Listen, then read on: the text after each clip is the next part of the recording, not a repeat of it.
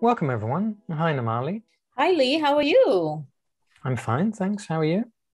I'm doing well. So here we are once again, and we have a reason for the colors that we're uh, donning today. I'm wearing indigo, and Lee, you're wearing a kind of a coral. I see the coral in that. um, so yeah, so we spoke about turquoise in our last call. Turquoise and also teal. These are really high and unusual and uncommon nascent stages of human consciousness and development.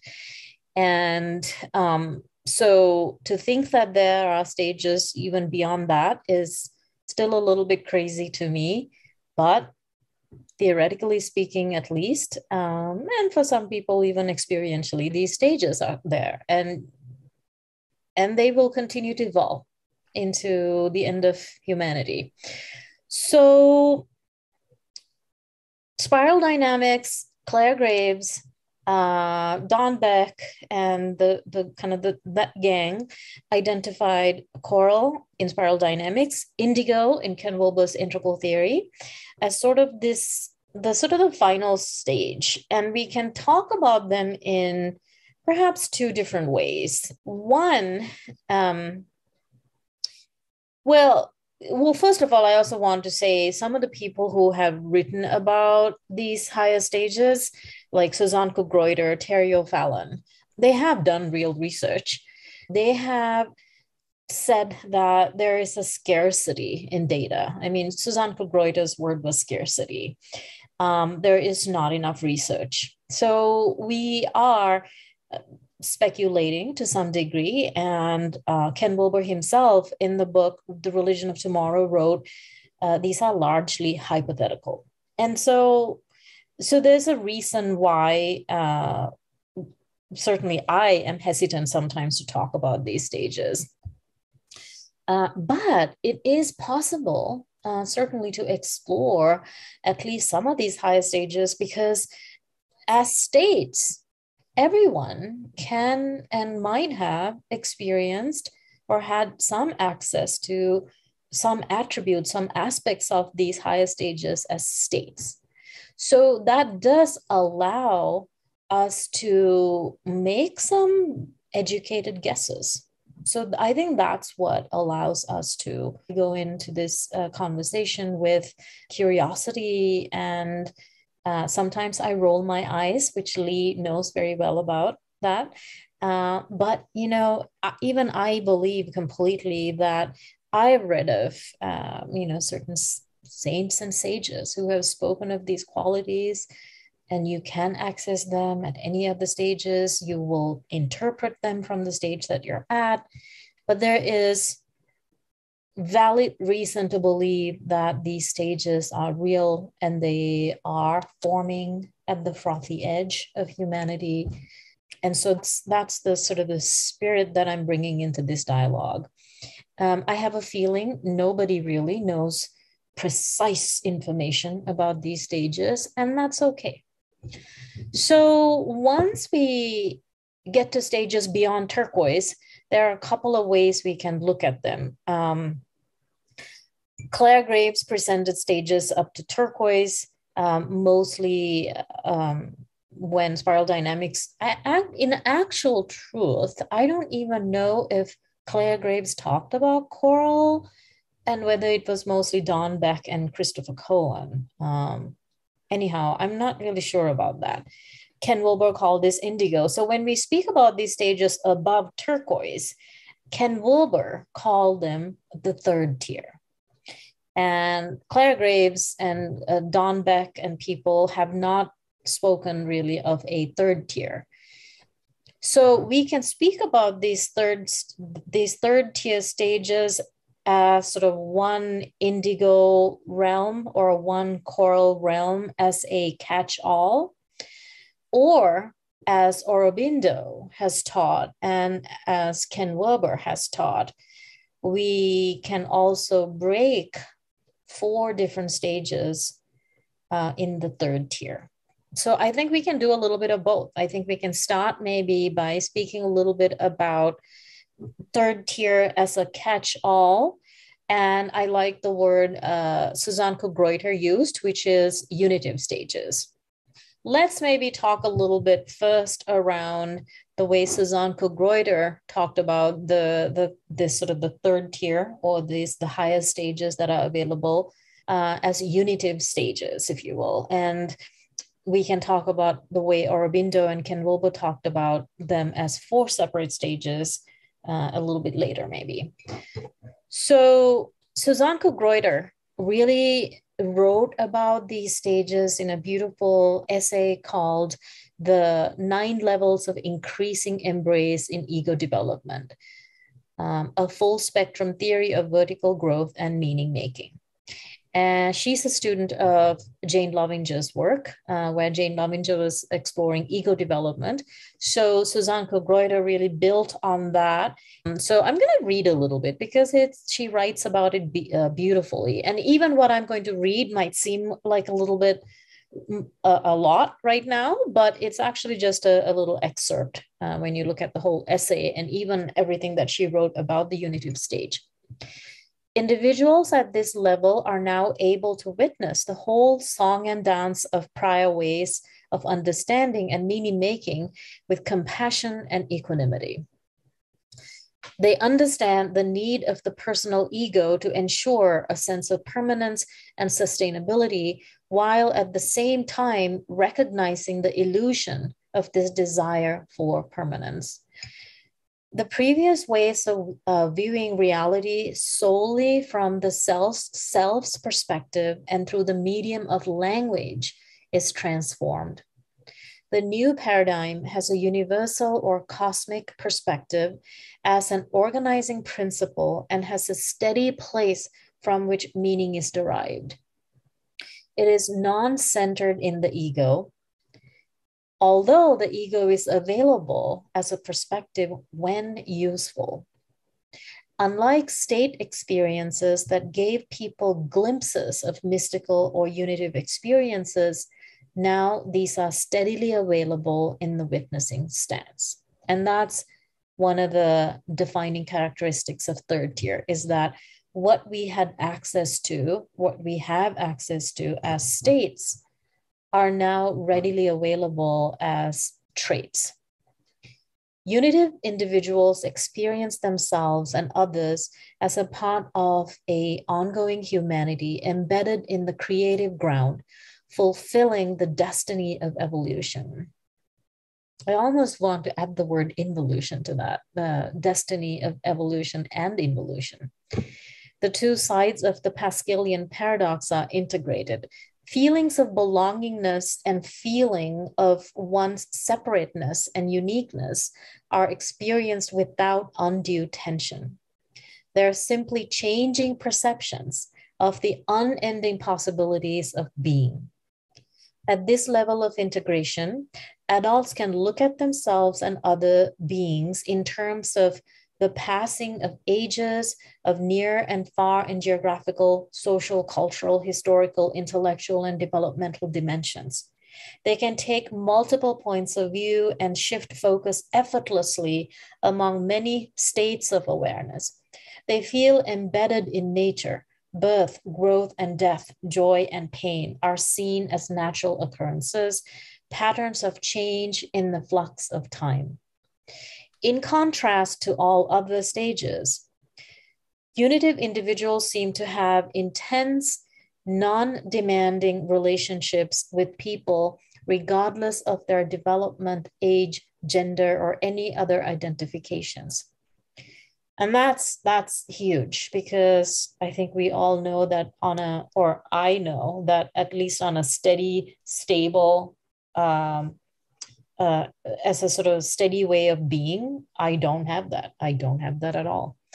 Uh, I have glimpses of it. I have a large exploration around it and an allowance for that and an experiencing of that, but it is not steady and stable. So, because, uh, so they do that because they see the dignity on, in all manifestations of life. Others feel worthy and whole in their presence um, in and and you know that actually sounds a little bit like green in a sense um, but in contrast to green, at least this is what I see is a contrast to green. She writes stage six, which is the unitive stage, individuals feel interconnected with others uh, as all sentient beings struggle to survive and make sense of their existence. Persons at the unitive stage feel tolerance, compassion, and an affiliation with all manifestation of life, which wasn't really true for green. Um, and just to kind of summarize, I picked another little paragraph here. Unitive adults are more likely to have a balanced, integrated sense of both their belongingness and separateness as individuals because they feel part of the ongoing evolution of the universe in all its aspects and cycles of creation, destruction, and recreation. I'll sort of talk about that in that unitive sense um, but then I'll also then, you know, talk a little bit around how uh, Ken Wilber, uh, just introduced how Ken Wilber or Aurobindo talked about these higher stages as four separate stages. Um, want to also just say a little bit about like what's the difference between second tier and third tier um, and Ken Wilber really talks about how these tiers and the reason why he comes up with the, the that there is a, a, third tier is he sees tiers as having some some really common attributes aspects uh, that differentiate the, the three different tiers. So second tier, which is as rare and significant as as even that is, is still cognizing and con- and conceptualizing ultimate reality or absolute truth, the sort of the ultimate meaning of life. And, and even that is sporadic as at best. Third tier is embodying and living it. So that level of e- uh, liberation from the ego, this is like a strong, an actual liberation from the ego. And that's now integral to one's entire being. So some of the big leaps um, from second tier is that in third tier, we are really entering higher and higher spiritual realms as stable traits beyond mere temporary peak states that anyone up to turquoise could have accessed and then interpreted them from the stage that they were at. Coral, indigo, and beyond, we're seeing lesser and lesser degrees of the personality and the ego. The ego is more and more ephemeral. Its grasping is more exponentially fleeting. Uh, and perhaps none at all. Maybe there's none at all at the highest of these higher stages. So these structure stages um, truly embody the transpersonal, uh, beyond egocentric, ethnocentric, world centric, uh, sociocentric, planet centric. It just transcending and including all of it. Um, so the third tier is really cosmocentric, cosmocentric with a K. Again, coming back to the way Ken Wilber and Aurobindo talked about the four separate stages. In integral theory, what is uh, Ken Wilber referred to the first of these four stages as paramind or indigo, uh, which is coral in spiral dynamics, is Aurobindo's illumined mind. Um, Wilber's second of these four higher stages is metamind, uh, which is violet. And in Aurobindo's stage model, it is intuitive uh, mind. Intuitive mind, intuitive mind. And then Wilber then borrows the same two names for the third and the fourth of these four higher stages as overmind and supermind. Overmind, the color is ultraviolet, and the supermind is clear light. And I think, according to Wilber, those common characteristics that they share uh, in these higher stages is that they each have a transpersonal component or aspect. They recognize the higher self beyond the relative personality. Not only do they recognize they actually are able to really inhabit that the the transpersonal trans personality, if there is such a thing. They experience or perceive perhaps a direct embodied sense of wholeness. In other words the the paramind indigo or coral is said to be able to see wholes, and the meta mind is said to be able to feel holes. The overmind can witness holes, and the supermind is being whole. And again, I'm picking all of this up from uh, this book here, The Religion of Tomorrow, uh, which is a book by Ken Wilber. And the third characteristic that is common in the in the four higher stages, uh, Wilber describes these higher stages uh, that they embody an awareness of awareness as as an almost constant sense of awareness. A state, the states of any other tier, is now a trait. So it isn't so much that one is aware of awareness, instead that in this sort of unitive space, there is no I. There or there's very little of the I. Instead, there is awareness as a merged embodied experience. And that sense of awareness itself is aware of awareness and consciousness. So, if that makes any sense at all. Another aspect of third tier is that it is marked by a, a very specific kind of a merging of a state and a structure stage, a state and a stage. So the, the best I can take a crack at explaining that is simply that in some uh, of our prior calls, uh, Lee and I, we've talked about states of consciousness and we talked about the gross state, subtle, uh, the gross, subtle, causal, and non-dual states. According to Ken Wilber, all of the stages are arising in a particular state in that every experience is a combination of a state and a stage. It's like a dance between a state and a stage, as is seen on, in the Wilber Combs matrix, which also we talked about. But at third tier, each of those identified um, four stages um, has a particular state that is intrinsic to that particular structure. So the indigo coral paramind illumined mind structure stage is the union with the gross state, merging with the gross state. The violet meta mind, intuitive mind, is a union or merging with the subtle state. Uh, and the ultraviolet overmind with the causal witnessing state. And the clear light, a supermind, is one with the with the non-dual state. Well, thanks, Nomali. So, first of all, to give a little bit of context for how you can perceive these higher levels of development. Many of the people we've been discussing, like Piaget and uh, Suzanne Cook-Greuter and uh, other people who've studied development in human beings, have done so based on gathering data in the real world. So that's a way of theorizing about levels of development based on um, available data. And the advantages of that are that it's very compelling when you can do that, and it's very scientific also.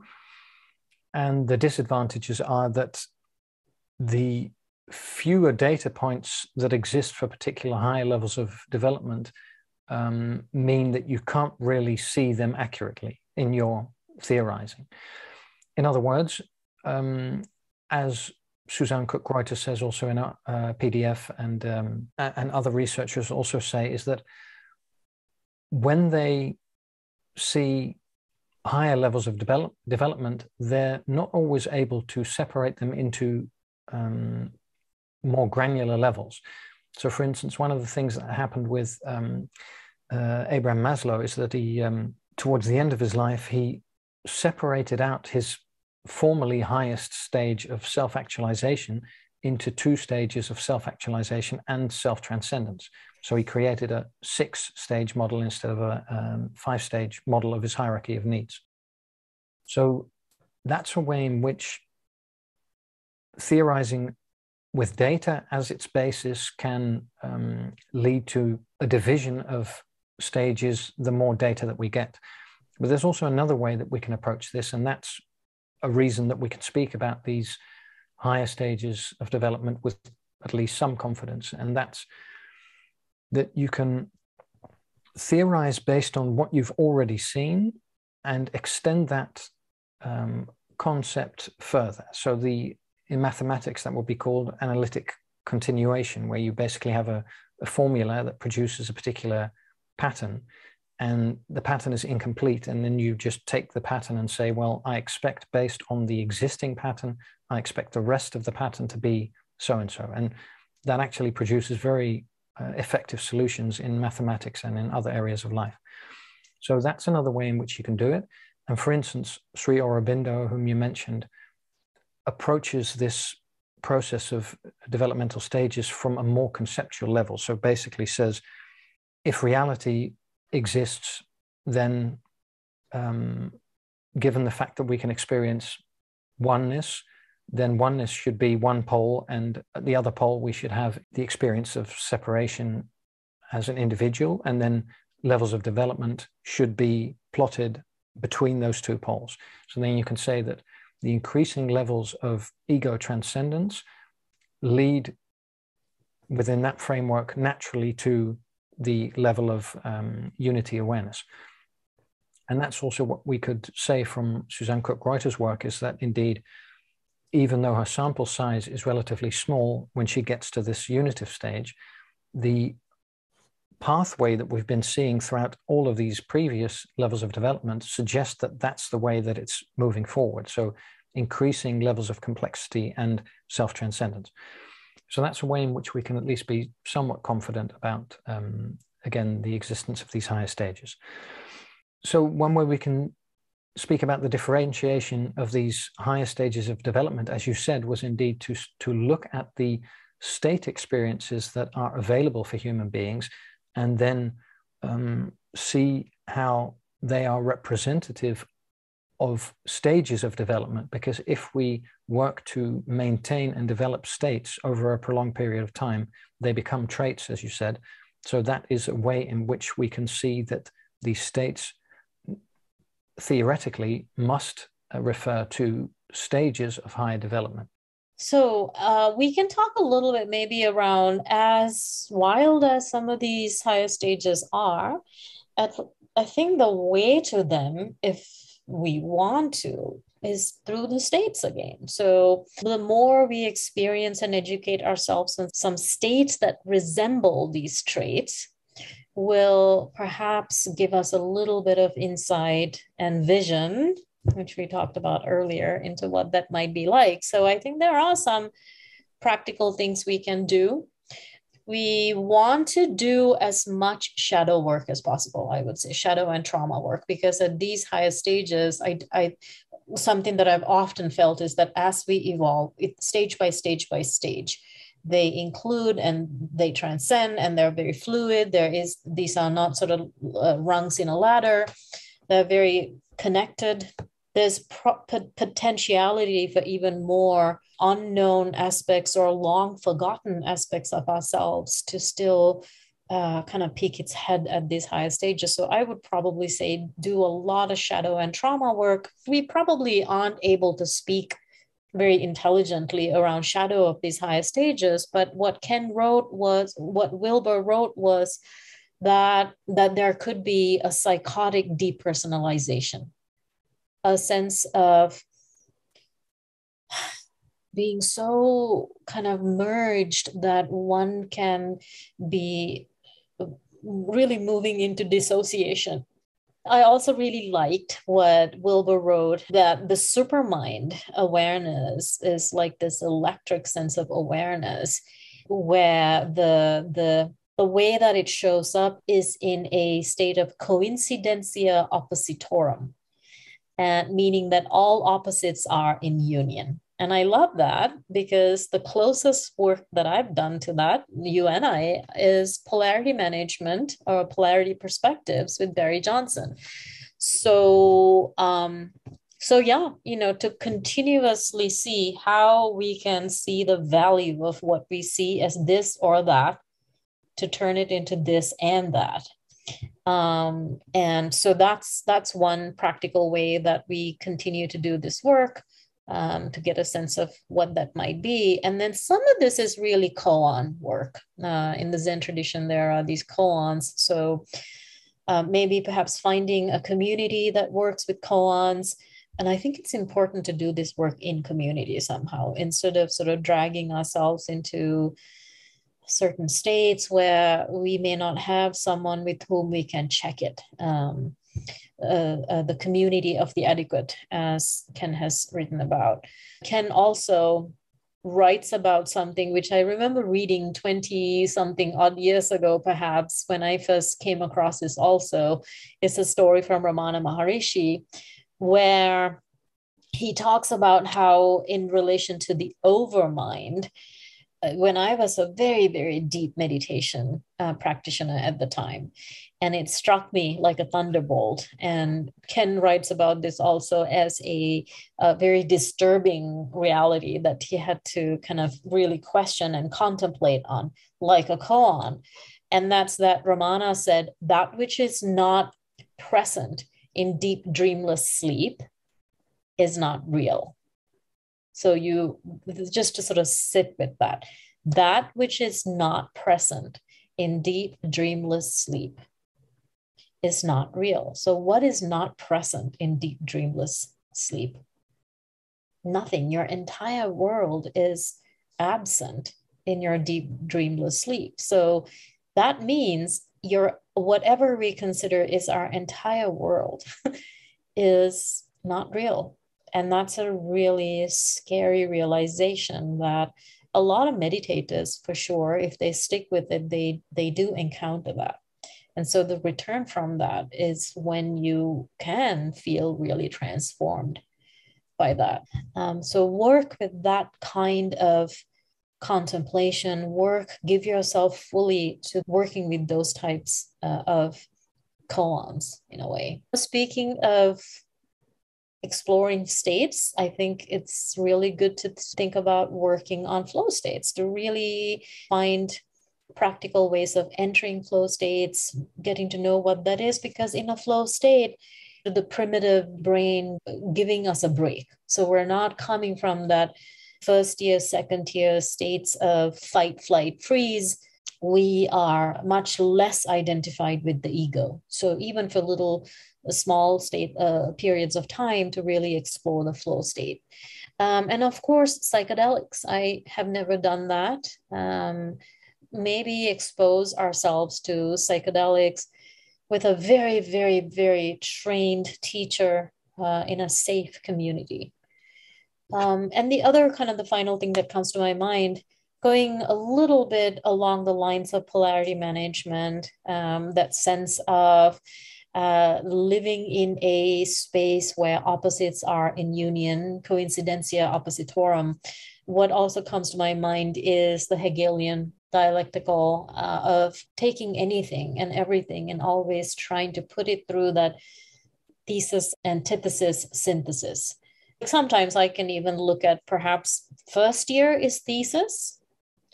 And the sort of really first tier is a lot about constructing the self and which you have to, which we all have to, constructing the ego in a sense and then late greenish, we are turning a little bit antithesis. In other words, we're starting the deconstruction phase of, of ego and self. And so, second tier, in some ways, I can look at it as antithesis, going away from all that we had constructed and believed in, and really seeing a much more, well, all of that can be constructed.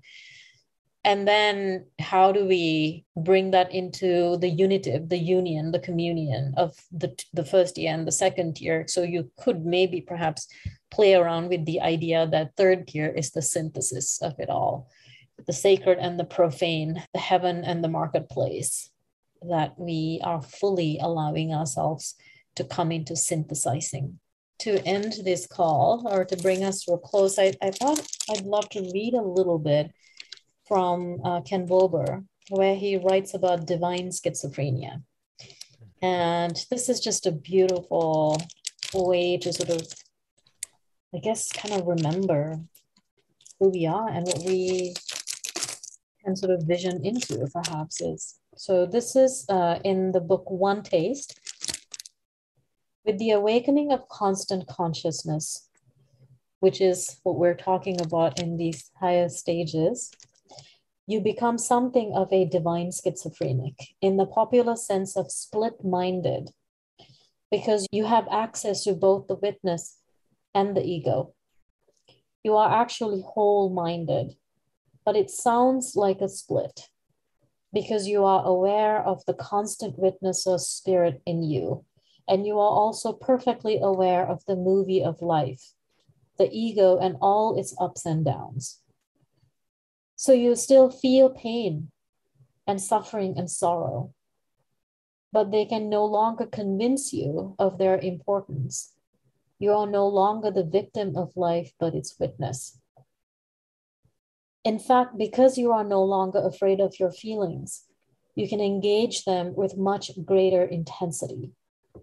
The movie of life becomes more vivid and vibrant precisely because you are no longer grasping or avoiding it, and thus no longer trying to dull or dilute it. You no longer turn the volume down. You might even cry harder, laugh louder, jump higher Choiceless awareness doesn't mean you cease to feel. It means you feel fully, feel deeply, feel to infinity itself, and laugh and cry and love until it hurts. Life jumps right off the screen, and you are one with all of it because you don't recoil. If you are having a dream and you think it's real, it can get very scary Say you're dreaming that you are tightrope walking across Niagara Falls. If you fall off, you plunge to your death. So you're walking very slowly, very carefully. Then suppose you start lucid dreaming and you realize that it's just a dream. What do you do? Become more cautious and careful? No, you start jumping up and down on a tightrope. You do flips, you bounce around, you have a ball precisely because you know it isn't real. When you realize it's a dream, you can afford to play. The same thing happens when you realize that ordinary life is just a dream, just a movie, just a play. You don't become more cautious, more timid, more reserved. You start jumping up and down and doing flips precisely because it's all a dream. It's all pure emptiness. You don't feel less, you feel more because you can afford to. You're no longer afraid of dying, and therefore you're not afraid of living. You become radical and wild, intense and vivid, shocking and silly. You let it all come pouring through because it's all your dream. Life then assumes a, its true intensity, its vivid luminosity, its radical effervescence. Pain is more painful, and happiness is happier. Joy is more joyous and sorrow even sadder. It all comes radiantly alive to the mirror mind, the mind that doesn't grasp or avoid, but simply awareness, but simply witnesses the play and therefore can afford to play even as it watches. This is so beautiful because it's talking about all the things that we've talked about today in these four separate stage stages. What would motivate you if you saw everything as the dream of your own higher self? What would actually move you in this playful dream world? Everything in the dream is basically fun at some deep level, except for this. When you see your friends suffering because they think the dream is real, you want to relieve their suffering. You want them to wake up too. Watching them suffer is not fun. And so a deep and powerful compassion arises in the heart of the awakened one. And they seek above all else to awaken others and thus relieve them from the sorrow and the pity, the torment and the pain, the terror and the anguish that comes from taking with dreadful seriousness the passing dream of life. So you are a divine schizophrenic. You are split minded in the sense that you are simultaneously in touch with both the pure witness and the world of the ego film. But that really means you are actually whole minded because these two worlds are really not two. The ego is just the dream of the witness, the film, that the witness creates out of its own infinite plenitude, simply so it will have something to watch at the movies. At that point, the entire play arises within your own constant consciousness. There is no inside and no outside, no in here versus out there. The non dual universe of one taste arises as a spontaneous gesture of your own true nature. You can taste the sun and swallow the moon, and centuries fit in the palm of your hand.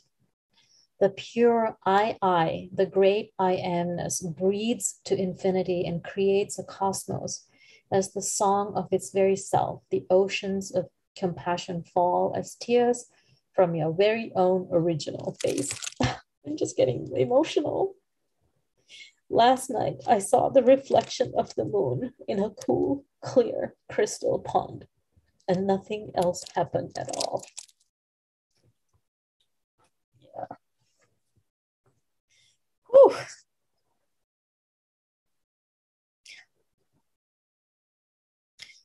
There's nothing to say. Maybe that's where we close.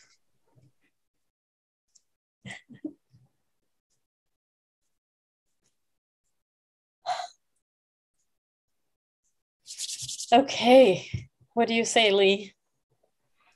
Well, that's the uh, conclusion of this uh, series about uh, Spiral Dynamics and the uh, additional high levels uh, as seen through integral theory. So, um, thanks everyone for watching, and thanks, Nomali. Yeah, thank you, Lee. Yeah. Excellent. Thank you. Bye, everyone. Yeah. Bye.